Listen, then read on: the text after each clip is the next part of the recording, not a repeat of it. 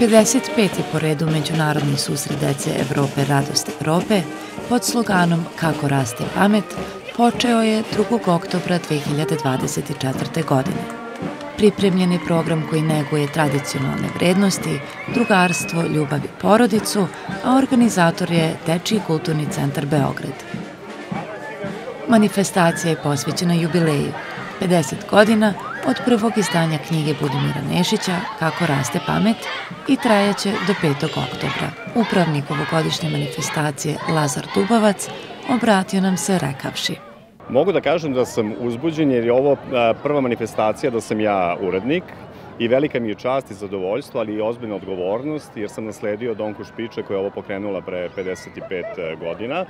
I pošto smo mislili da je to toliko velika manifestacija i jedna od najvažnijih kod nas, imamo čak dva urednika, Tijena Savičin i ja smo podelili poslove, ja sam bio zadužen za umetnički deo, a Tijena je bila u komunikaciji sa svim zemljama koje dolaze i sa školama domaćinima ima 13 e, zemalja. E, ove godine, između ostalog, dolaze gosti iz Namibije, to je ono što je nama interesantno i to smo se dogovorili da svake godine dođe e, po jedna zemlja s nekog drugog kontinenta. Tako je prošle godine bila Kina, a ove godine Namibija.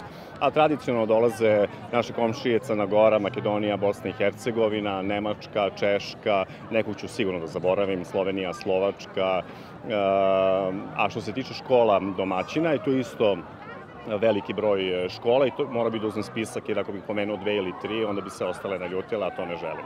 Evo, sad smo na Trgu Republike, počinjemo sa velikom karnevalskom povorkom, vidite da se okupljaju, njih ima preko 500, idemo kroz e, Knez Mihajlovu i završavamo na Kalemegdanu, na košarkaškim terenima Partizana, gde će se dve zemlje predstaviti i hor Dečeg kulturnog centra Beograd s našom dirigenticom Nevenom Ivanović e, izvešće Zdravicu, To je pesma za koju je stihove napisao Duško Radović i izvodimo je svake godine na početku i na kraju naše manifestacije. Sutra u 18 časova u NTS dvorani, direktna prenos na RTS-u, naš gala koncert, Ivan Mihajlović je ove godine voditelj sa dvoje male dece, Iskra i David, i škole Snežane Nenadović i posebno se radujemo tome sutra i budite uz TV i gledajte nas. Sve biste rekli da je to najvažnije što deca mogu da ponesu posle e, prisustva na manifestaciji? Najvažnije je ono čime se u stvari bavi vaša televizija i crkva, a to je suština, a to je ljubav. E, dakle, bez ljubavi nema ništa.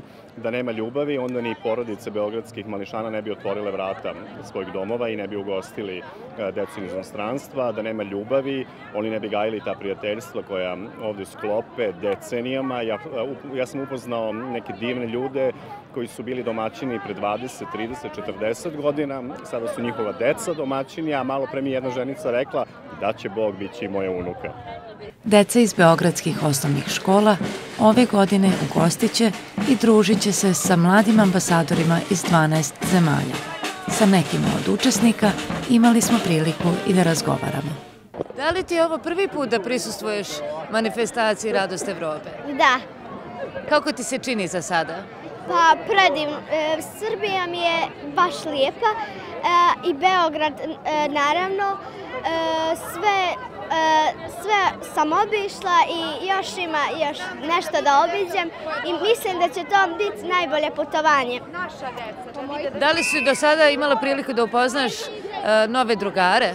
Da, upoznala sam iz Afrike nove drugare, družila sam se sa mojim starim drugarima sa hora i svi smo se družili. Super, hvala ti puno. Hvala vam.